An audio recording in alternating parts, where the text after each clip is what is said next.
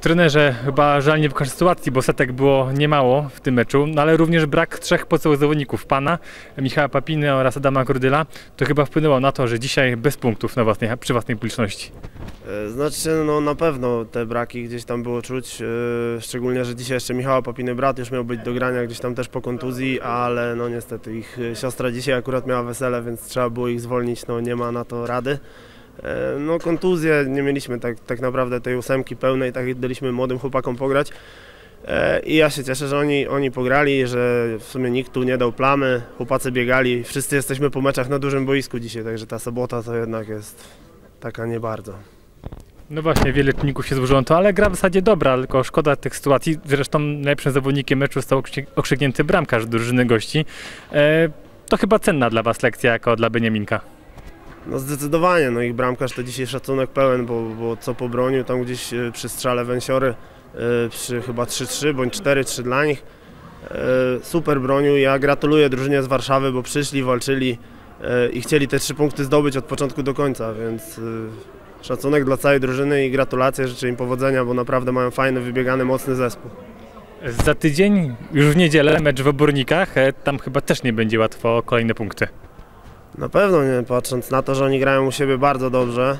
E, No ale też e, gdzieś tam bracia Papinowie, gdzieś tam e, Adaś Kordyl, bo też był na tym weselu, jest na tym weselu dzisiaj, na pewno nam pomogą i na pewno będziemy troszkę lepsi niż dzisiaj. Może będziemy mieli trochę więcej szczęścia, bo gdzieś tam szczęście nam dopisało z Chojnicami na wyjeździe, to może w Obornikach też dopisze. Od początku meczu cały czas trzeba było pilnować tego wyniku, ale na końcu skuteczniejsi okazali się zawodnicy z Warszawy. Co takiego zaważyło za tym, że dzisiaj bez punktów w kartuzach? No, brakowało kilku zawodników, też byliśmy zmęczeni, ale wydaje mi się, że każdy, każdy z siebie dał tyle, ile mógł. No trudno, no, takie mecze będą i musimy na, nadal walczyć o trzy punkty w każdym meczu. No. Przeciwnik walczył do końca, strzelił na końcu, bronili się dość skutecznie. Nam nie wychodziło dzisiaj, pecha też troszkę mieliśmy, no ale trudno, no, trzeba walczyć dalej. Po meczu w Chojnicach zaczęliście być brani pod uwagę jako czarny koń tegorocznych rozgrywek. E, Nawet wydawało się, że dzisiaj możecie wejść na szczyt tabeli, bo e, punkty stracił Konstra Klubawa. E, czy czujecie to, że możecie tutaj zamieszać w tegorocznych rozgrywkach? Nie, wydaje mi się, że żaden z zawodników nie czuje presji. My po prostu wychodzimy na każdy mecz, chcemy go wygrać. Dzisiaj się nie udało, trudno, walczymy dalej. Trenerze, wracacie do gry. Dzisiaj trzy punkty na ciężkim terenie w Kartuzach. Taki mecz na styku, ale to wy wykazacie się lepszą skutecznością.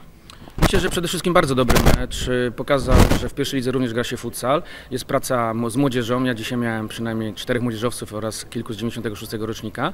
Jesteśmy młodą drużyną, która przechodzi pewną metamorfozę i w tej chwili gramy o to, co się wydarzy na parkiecie. Tydzień prywatne zdanie. E, Jeżeli chodzi o mecz dzisiejszy, to przede wszystkim e, gratulacje dla Kartus, bo to jest Beniaminek, pełne trybuny, fantastyczna atmosfera, doping. Życzyłbym sobie, żeby tak było na e, meczach wszystkich w, w, Ekstraklasie. Fajnie, mm, im powodzenia. Nam cieszę się, że mamy te trzy punkty, bo ponieważ zostajemy w grze.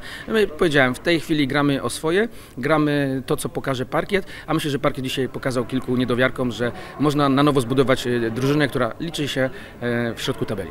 E, Drużyna Akademików z Warszawy ma już 11 punktów, no i goni czołówkę, tym bardziej, że Lubawa traci punkty. Zdaje się, że tegoroczne rozgrywki pierwszej ligi i grupy północnej będą do końca bardzo ciekawe. Ogóle poziom e, futsalu w Polsce wzrasta. Patrzmy na poziom reprezentacji, patrzmy na e, ostatnie mecze w Ekstraklasie. Zobaczmy na to, co się dzieje w, w pierwszej lidze. Ja mam taki przegląd akurat, że mogę e, wszędzie uczestniczyć, więc patrząc to, to tylko oczy się radują, serce się raduje. Myślę, że profesjonalizacja pierwszej ligi idzie jak najbardziej w dobrym kierunku. Ja trzymam kciuki tutaj i fajnie, że tak to wygląda. Natomiast no, proszę pamiętać, jednak to jest pierwsza liga, jednak ten skok do tej ekstraklasy powoduje, é, że czasami te drużyny, które awansują, mają duże problemy z utrzymaniem. No ale ja jestem zwolennikiem mm, takiego systemu, o którym e, niekoniecznie muszę mówić, bo bym wtedy sobie wrogów mógł znaleźć, ale uważam, że pierwsza liga musi być mocna, żeby ekstraklasa była mocna. Jak jest mocna ekstraklasa, mocna pierwsza liga, to reprezentacja również będzie mocna. Znakomity początek meczu, zresztą w Twoim wykonaniu, strzelona bramka, szybko 1-0, później no, bardzo zacięte spotkanie, ale na koniec to wy okazacie lepsi. E, Będą ciekawe wspomnienia chyba tutaj z Kiełpina. No tak, myślę, że wspomnienia będą bardzo ciekawe i bardzo dobre. Zwłaszcza pozytywną, atmosferę, pozytywną robią kibice, którzy naprawdę fajnie, fajnie dopingują i nie tylko zespół gości, znaczy nie tylko zespół gospodarzy, ale tak fa- fajna atmosfera też właśnie dla nas jako, jako ta gości. No myślę, że na fajnym poziomie, bramki futsalowe ty- typowo, no, tak jak nas parę razy zespół z Kartus rozklepał, tak samo my parę razy dołożyliśmy bardzo fajne piłki do grania. No myślę, że dla kibiców takie, takie mecze są idealne do, do oglądania i tym bardziej, że ten mecz był w telewizji, więc myślę, że nikt nie może narzekać na, na tak to dzisiaj wyglądało. No, kilka meczów przegranych, kilka wygranych. E, Środek tabeli, tym bardziej, że gonicie już czołówkę, 6 punktów ostatnio przypisanych. Jak oceniasz, jak będzie wyglądała ta liga do końca tych rozgrywek? Wydaje mi się, że, że Chojnice powinny odskoczyć w którymś momencie, no, jak ich kadra jest na tyle wyrównana, że udało Wam się tydzień temu wygrać, ale myślę, że u, nich wypadek przy pracy jednorazowy. No ale myślę, że o drugie miejsce będzie, bardzo zacięta walka, bo tu zespół z Zielonej Góry będzie mocno o niego walczył i Lubawa, która straciła punkty.